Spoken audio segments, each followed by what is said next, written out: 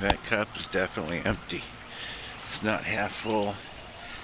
I've shot a bunch of these. I make one almost every day. I've shot a bunch of them towards the future. you can put them on YouTube and uh, um, schedule them to be released whenever. Some of them go up to like a thousand years, a hundred years. If it sucks for this time, I figure they're not ready for it, you know. This one I'm going to call probably the Keystone. It uh, is meant to be released after I'm dead. Speaking to you from beyond the grave. I've uh, I've got a serious heart condition. I'm almost at like a hundred percent blockage, which reminds me I need to smoke a cigarette. I want to. Uh, it. Uh, I think I'm down to oh weeks or months now. I'd say weeks uh, before uh, some cardiac crisis that takes me out of this hellhole of a world.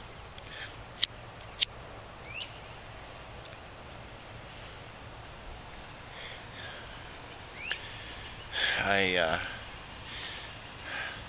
I guess one thing with me is, uh, what was it about? What did I learn? Well, the first thing is I'm, I'm Brooks Hatlen. Fellas, I've decided not to stay. I could go to a hospital. I just I've been through a cancer surgery that hurt so bad. It was just such a shock to me that uh, I don't want to go through that again. I couldn't imagine them opening up my chest to do a surgery. You know, I don't want to.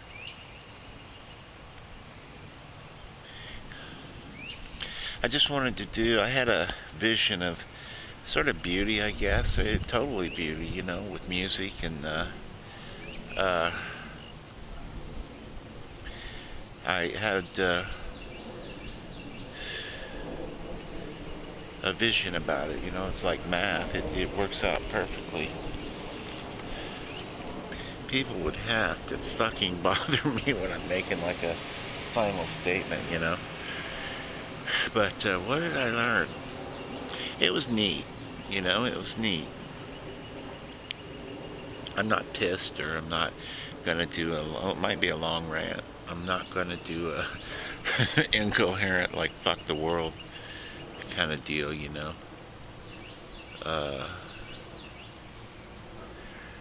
you know, you, you if you've been sick for a long, long time,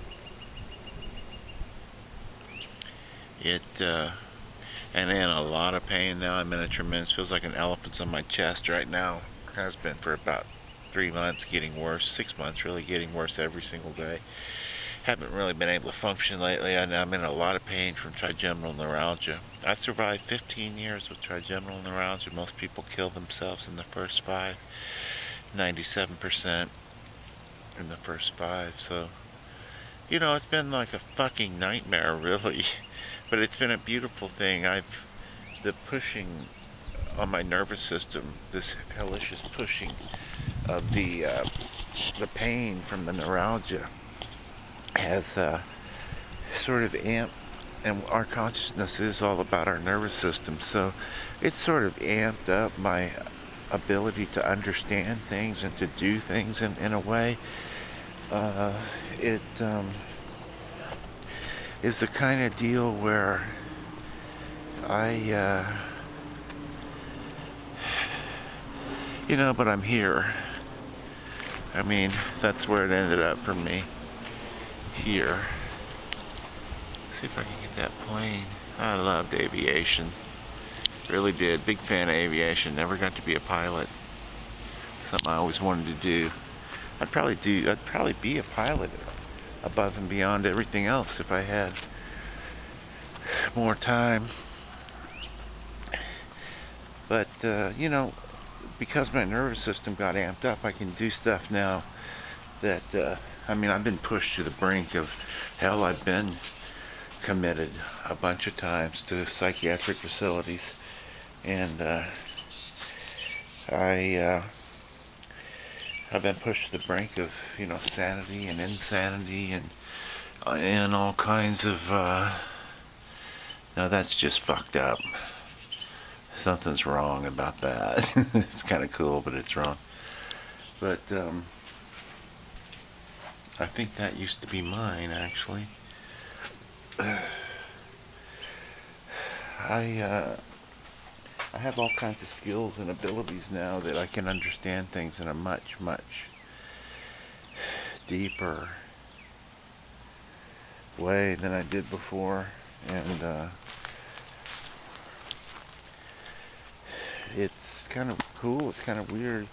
I can, you know, play all kinds of music and songs and stuff, and then uh, in volume, you know, do incredible stuff. But uh, I've never actually looked over here. Some kind of antenna station. It's a generator. Oh, I thought it was a personal generator. This is some kind of like broadcast repeater or something. But uh, here's somewhere to sit down. It uh, for me, I mean, fuck, I ended up here, and it's the kind of thing where, what could I say of any value here? It was neat life. I'm not pissed. I understand how God and the universe function now implicitly. There's no question. Sometimes I think people are the fucking cockroach of the universe, you know? Uh, just totally evil and bad and bullshit. And, and then they surprise me with nice stuff, you know? Sometimes. I was pretty nice. I did everything right, you know? I had a son and a daughter. That's why I made all these vlogs they will come back because I know about who they are and where they came from and myself and people. I understand people now and humanity. Uh, they'll come to these video logs over and over again and look at them in their lives. Not when uh, my daughter's like very 20 now. She's got the world by the balls. You know, she thinks she knows it all. I don't even I've talked to her a couple of times. I, I get that sense because I was like that, you know. So full of arrogance, so full of cocksurety and know-it-allness and shit in my 20s. You learn that you're pretty much an idiot until you're somewhere around 40. I'll be I'll be 50 in like a week or two. But the symptoms I'm having, it's pretty obvious I'm not going to make it, and I don't want to make it. I've, I'm in a hurry. I'm not in a hurry. I, I, I'm anxious to see. I'm anxious to go, and if it's nothing, the, the more the better. I'm tired. I'll keep making the songs and stuff till the day I die now. I know that. It's neat to know what you're going to do the rest of your life. You know, it really is. It takes a lot of questions out. It's perfect to get rid of the the woman bullshit question. The whole woman issue thing is, uh, and the whole love bullshit. Now, we do so much for these little mating games that we do in life. Oh, that's a neat one. Come on, get it. Can't really see them. But so much of life is wasted on who fucks who and these mating games and the bullshit that goes along with that. You know, I pretty much the way everything works because of evolution and uh, survival of the fittest and so on is that uh, we pretty much are driven to just fuck everything that comes by, whether we say we are or not, we are. And uh, going to work to make the money and do all of that's just so you can have a better place to fuck more people, fuck more women, you know, whether you say it is or not. That's the way shit works. And you can sort of push that lower urge down, but it that's what stuff is about. Even when you, which I haven't got to the point where I, you know, don't have any sex drive or can't perform. I guess that's next. You know, I never had any problem with that at all yet, but uh, I can see that even when that goes, it becomes a question of then how you just exercise your sheer ego over the world. You know, and I've I've beaten a lot of that kind of bullshit thinking through art. It's almost heartbreaking to get to the point where you realize that uh, that you're capable of creating great works of art, great music, you know, and I am now. My understanding has increased a millionfold and keeps getting deeper. I think it's like uh, it's like an amp. I used to play tube amps and uh, on stage, and right before they smoke up and burn up, they they sound absolutely unique and the best ever. But uh, I think it, it's kind of heartbreaking to realize nobody really cares or gives a shit. And that's kind of the way the world is organized because uh, it has to be that way. People can't really care too much about you. They're just busy trying to eke out a living for themselves, you know. So uh, it makes it seem like they don't care, and I don't. I think they don't know and they don't care. There's a lot of that, but there's a lot of great people out there too. You know, it's been a neat life. I'm not uh, pissed to leave it. I've seen beyond all of this bullshit. I see it very clearly now. It's so clear. It's I can't believe I didn't see it. I mean, it's reflected in the work, the music that I'm able to do now. I see even the slightest imperfection, and uh,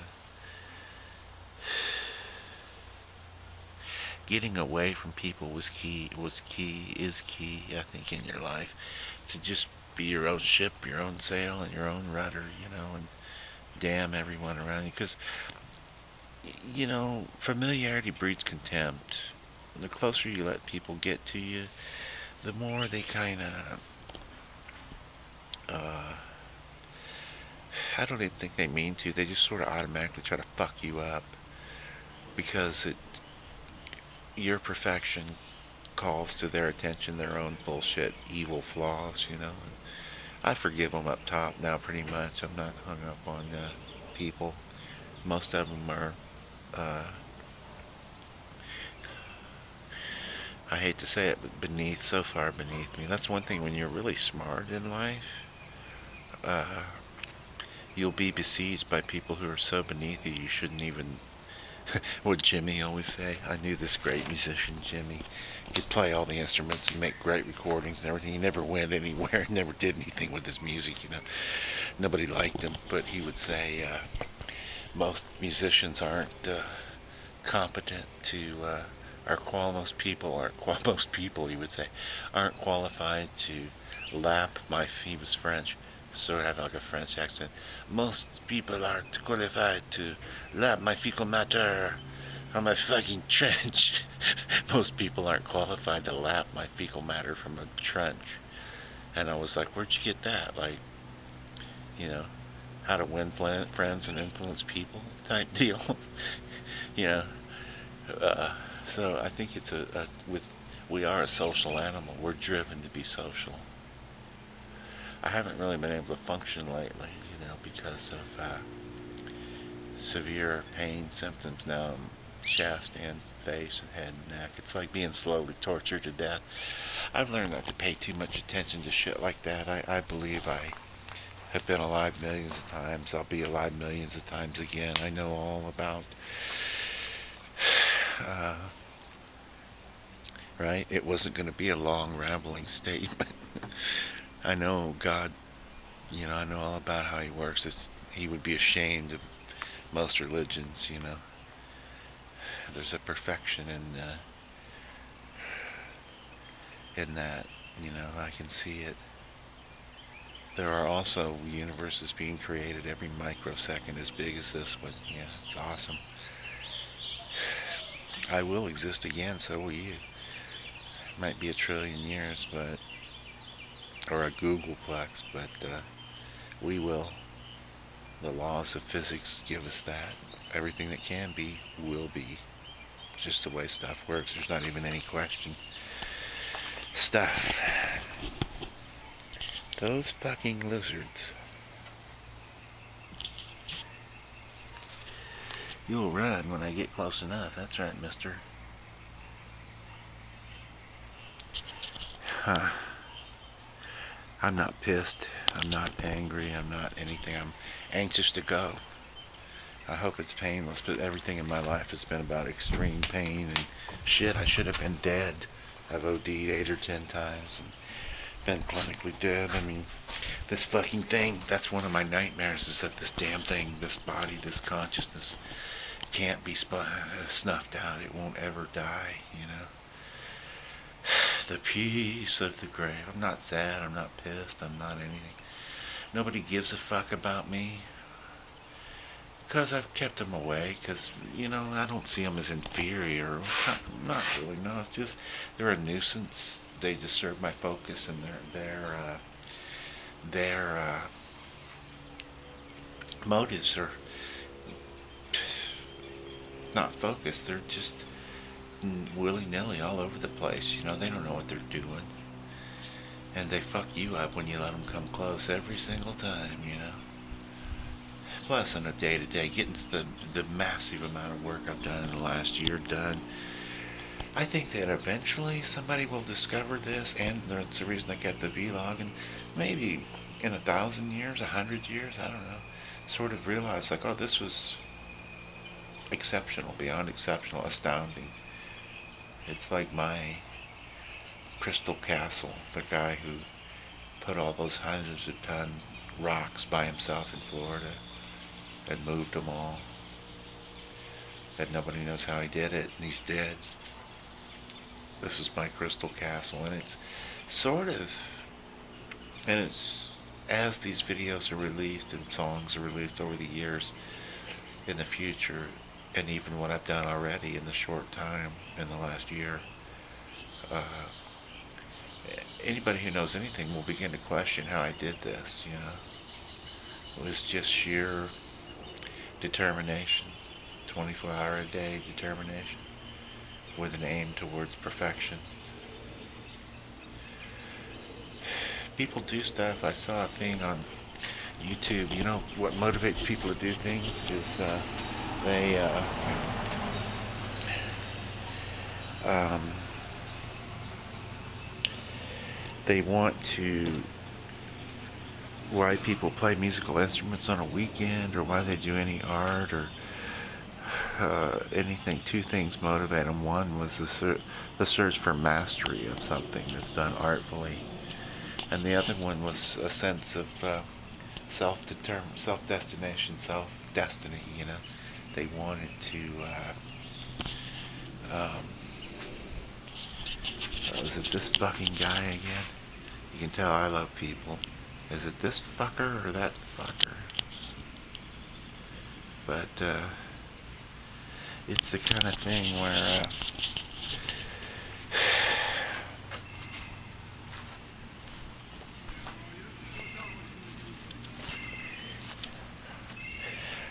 Oh man, is he yakking on the phone? Yeah.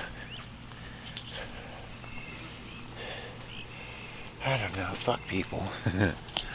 I, I love them actually, but I've seen sort of beyond their little pale bullshit. Most are just fucking robots acting out a genetic, uh, a genetic program, and you know, even my own family. This is good enough where I live now. That's and I'm not well. That's the bottom line. I'm not able to take care of myself in any decent way anymore. I was amazed to find out that this sort of filthy eking out a, uh, you know, just enough food to live and a bathroom and a bedroom on wheels. This pathetic existence is that's it's me, it's not them. So their ego tells them, hey, uh, and I know, oh well, you should work for you know and do better. Well, fuck, I can't, man. I'm barely able to stand here anymore. I'm disabled, you know. I'm not well. It's time for me to go. I'm not pissed, but I'm how quickly they just accepted like, well, that's good enough for you. you know, how everybody accepted that. I'm not mad about it. It's just the way stuff works, you know. Um, and it's not about getting what you deserve. Dude, you are fucking annoying me. This life, it's not about getting what you deserve. You get what you get. I wish my I wish that I had known uh, my uh, of all the people I wanted to know, my daughter was. Uh, I wanted to know my daughter Jessie, and uh, you know she's heard nothing but lies and made up bullshit about me about what a terrible person I am, and uh, it just isn't true. I was probably the most interesting and best person she ever knew. But how do you come back from that? I, and my son, he, he, he can take care of himself. He's half Chinese. I raised him to be a genius and all the baby Einstein stuff and the the right brain foods in his first five years. And uh, he he has he's not an emotional being. He's a logical being. He'll be all right. But uh, the keystone is what I'll call this. I'm not pissed. I'm not. Don't feel like I deserved all kinds of this and that and the other. Or I just uh, would have been neat to get a little recognition. And uh, part of that is I never uh, properly presented my stuff to the world. I kept putting it off, and there was a lot of stuff, you know now I'm too old, and it's, the last year of having people recognize me for being excellent as a musician has been amazing. But uh, it is what it is. I'll shoot this one towards the future. If you happen to see it, and there's evidence that I posted something, I'd say give it 90 days after you see this. If after you see this video, it's 90 days later, uh, and you haven't seen anything else posted, it's May 22nd, 2013. Um, it, uh, I'm definitely dead. I'd say it's down to weeks. I'm, uh, I'm I know exactly what happens. I've seen uh, everything has been revealed to me now. I, I can, this universe. I'm ready to check out some others. I know how this functions. It's not based on any fairness or anything, it just is. Some of you guys have followed me. That was cool. I appreciated your friendship. I, uh, and you know who you are. I, um, I, it was important for me to sort of remain, uh, alone and not in any sort of personal contact with anybody. And what I wanted to do with all this was to show you, really, it's unrevealed yet, and it won't be until after I'm dead, that what I was able to do as I was dying and how intense the experience. So I wanted to share that experience with you of what it is to give everything you have to something because I think you want to. I know why they built the pyramids now. You know? You want to leave some evidence that you were here. I'm in the last generation of people who will die uh, after this in the next 50 or 100 years. Genetic engineering and uh, um, nanotechnology people will live forever. If, you know, without tragic accidents or something. And even then, who knows? I'm, I'm happy to die. I can't fucking wait, actually. Part of me wants to say, just can't wait to get out of this fucking roach bit, you know. But, and part of it is I'm just tired, you know. It was a neat, great time. I'm not sad. I'm not mad. I'm not anything. I'm not angry. I'm not anything. Don't feel sorry for myself. I'm curious, you know. I'm not even curious. I know what's happening. I'm anxious, excited. I'll call this the keystone, and I guess it is. I'll aim it for like five years from today, I guess. I don't know. Fuck. Something like this out there. But check and see. If you don't see anything from me, you see this video, then you see no others for 90 days, um, then uh, I'm dead. Either that or I'm locked up somewhere. I'm not going to make it. I'm so good with that. I can't wait to get out of this motherfucker. it's good. Afterwards is good. Don't even worry. Do what you can while you're here, you know. all that bullshit about making it a better place or something. I don't know. Make it a better place for you and everybody else. And you can do anything you set your mind to. You really can. The Keystone. With that said, peace out, motherfuckers.